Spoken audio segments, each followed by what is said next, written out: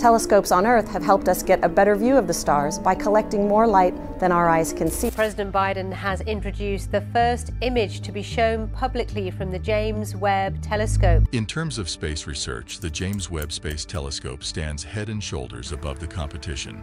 Through its incomprehensible design and origins, Webb is exploring the mysteries of our solar system, other planets orbiting other stars, and our place in the universe. A star 120 light-years away from Earth was the target of a recent experiment using the Webb telescope. Astronomers are still scratching their heads about the possibility of carbon-based molecules in the atmosphere of a planet that is thought to be in the water, after the super telescope found evidence of them. This finding opens exciting new possibilities regarding potentially habitable worlds in the cosmos and gives a fascinating look at a planet that is completely different from anything in our solar system. Here you are in Lab 360. Let the adventure begin. If you want to stay up to date on all the space news, you should subscribe. Exoplanet K2-18b, which is 8.6 times Earth's mass, has been studied by NASA's James Webb Space Telescope, and carbon-bearing substances including methane and carbon dioxide have been discovered. According to previous studies which Webb's finding supports, K218b may be a Hycean exoplanet, meaning that its surface is covered by water and its atmosphere is rich in hydrogen. Our understanding of the system has been transformed since initial observations with NASA's Hubble Space Telescope shed light on the atmospheric features of this habitable zone exoplanet. Located in the habitable zone, K218b is a 120 light-years away from Earth in the constellation Leo. It orbits K218, a cold dwarf star. With no similar surrounding planets, exoplanets like K218b, whose diameters are between Earth's and Neptune's, are unique in our solar system Astronomers are deeply divided over the characteristics of these sub-Neptunes because of how little is known about them and their atmospheres. Some scientists think that exoplanets in the Hycean region provide ideal circumstances for looking for signs of life. Therefore, the idea that K218b could be one of these worlds is intriguing. The lack of ammonia and abundance of carbon dioxide and methane lend credence to the idea that K218b has a water ocean under its hydrogen-rich atmosphere. Dimethyl sulfide is a molecule that can only be produced by living things on Earth. And these first results from the Webb Space Telescope raise the prospect of its detection. Plant life in the ocean is responsible for releasing the vast bulk of the dimethyl sulfide that enters Earth's atmosphere.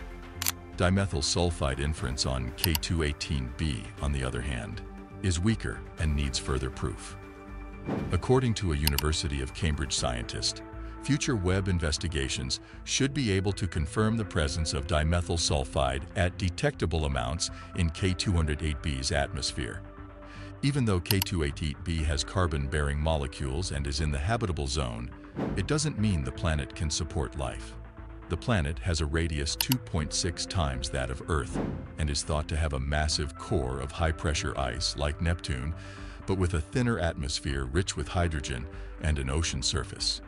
For Hycean worlds, vast bodies of water are anticipated. But it's also feasible that the water is too hot to sustain life or even be a liquid.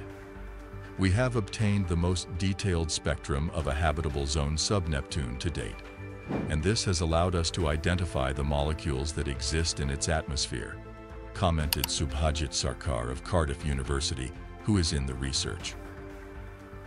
Research into the propagation of light from K2-18b's parent star via the exoplanet's atmosphere allowed for this examination. Because it is a transiting exoplanet, K218b's luminosity dims as it moves past its home star. In 2015, NASA's K2 mission used this method to discover the exoplanet. During transits, a tiny fraction of the sun's rays pass through the exoplanet's atmosphere and eventually reach space observatories like Webb. As light travels through an exoplanet's atmosphere, it leaves behind traces that scientists can use to gauge the atmospheric gas composition. The team is planning to do more research utilizing the mid-infrared instrument spectrograph of the telescope. they anticipate that these studies will confirm their findings and offer new information about K208b's climate. The discovery of life on a habitable exoplanet will revolutionize our perception of our role in the cosmos, according to Madhusudhan's conclusion. Water has been detected by the Super Telescope in other locations as well. Complex chemical compounds resembling smoke or haze were found in a faraway galaxy by astronomers utilizing the James Webb Space Telescope.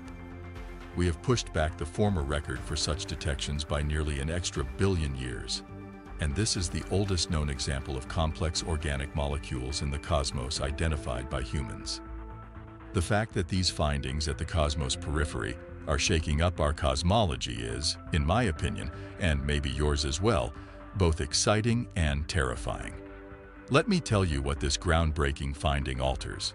An early galaxy that originated around 10% of the universe's present age has these components. Therefore, that's the first thing to know.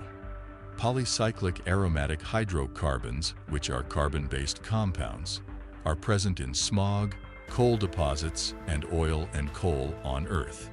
However, this discovery is of what importance? The molecules we found aren't simple things like water or carbon dioxide says lead astronomer Justin Spilker. Huge, squishy molecules containing hundreds or even thousands of atoms are what we're referring about here. Even while our models indicate that the cosmos shouldn't have been able to produce such huge and complicated molecules so soon after the Big Bang, the fact that it did so is truly astounding. Because our galaxy is so vast, the light that scientists have been able to detect started its journey just over 1.5 billion years after the Big Bang.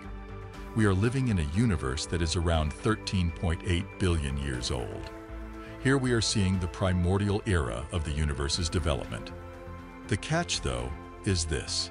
Thanks to Webb, we've pushed back the previous record for such detections by approximately an additional billion years, allowing us to detect these complex organic molecules. What if, Instead of looking just at the Big Bang, we could go much further back in time. Would we find more of these molecules then? Our cosmological model and scientific knowledge would be profoundly affected by that. Another crucial point. Earlier attempts to identify complex organic molecules in distant galaxies could only confirm the presence of the chemicals. Thanks to Webb sensitivity, we can now make out finer details about the precise location of these molecules inside a galaxy.